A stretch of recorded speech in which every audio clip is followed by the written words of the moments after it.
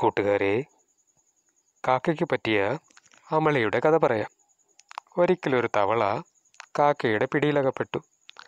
കാക്ക തന്നെ കൊന്നു തിന്നുമെന്ന കാര്യത്തിൽ തവളയ്ക്ക് ഉറപ്പായി. എന്തെങ്കിലും ഒരു സൂത്രം ഒപ്പിച്ചേ മതിയാവൂ തവള കരുതി. കാക്ക തവളയും എടുത്ത് അടുത്തുള്ള വീടിന്റെ മേൽക്കൂരയിലാണ് ചെന്നിരുന്നത്.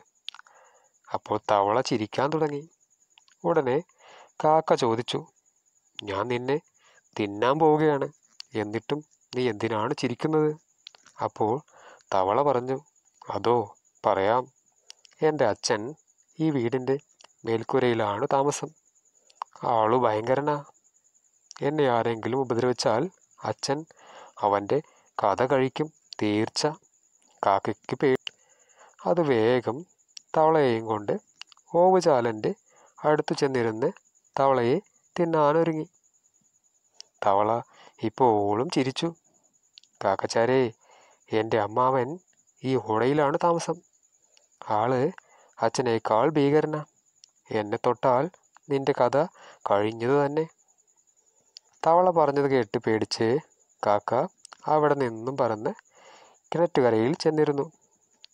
ഇനി ആരെയും പേടിക്കാതെ തവളയെ തിന്നാൻ കാക്ക കരുതി.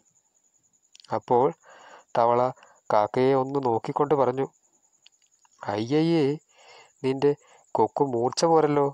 ഈ മൂർച്ചയില്ലാത്ത കൊക്ക് കൊണ്ട് എങ്ങനെ എന്നെ കൊത്തി കീറും നീ കൊക്ക് ഏതെങ്കിലും പാറയിൽ ഉരച്ച് മൂർച്ച വരുത്ത് അതുവരെ ഞാനിവിടെ ഇരിക്കാം. തവള പറഞ്ഞത് വിശ്വസിച്ച് കാക്ക കൊക്ക് മൂർച്ച വരുത്താൻ പോയി. തക്കം നോക്കിയിരുന്ന തവള കിണറ്റിലേക്ക് ഒറ്റച്ചാട്ടം കൊക്കുരച്ച് മൂർച്ച വരുത്തിയതിനു ശേഷം തിരിച്ചെത്തിയ കാക്ക തവളയെ കണ്ടില്ല. തിരഞ്ഞു നോക്കുമ്പോഴുണ്ട് തവള കേറ്റന്റെ താഴത്തെ പടിയിലിരിക്കുന്നു. തവളച്ചാരേ കൊക്കു റെഡിയായി. ഇങ്ങു കയറിപ്പോരെ കാക്ക തവളയെ വിളിച്ചു. അയ്യോ എനിക്ക് ഇവിടെ നിന്ന് കയറാൻ വയ്യ. വേണമെങ്കിൽ ഇവിടെ വന്നെന്നെ തിന്നോ. ഇത്രയും പറഞ്ഞ് തവള വെള്ളത്തിലേക്ക് ഉളിയിട്ടു ആപത്തിനെ ബുദ്ധി കൊണ്ട് നേരിട്ട തവളയുടെ കഥ കൂട്ടുകാർക്ക് ഇഷ്ടമായോ ഇഷ്ടമായാൽ ലൈക്ക് ചെയ്യണേ ചാനൽ സബ്സ്ക്രൈബ് ചെയ്യാനും മറക്കല്ലേ. വീണ്ടും മറ്റൊരു കഥയുമായി മാമൻ വരാട്ടോ.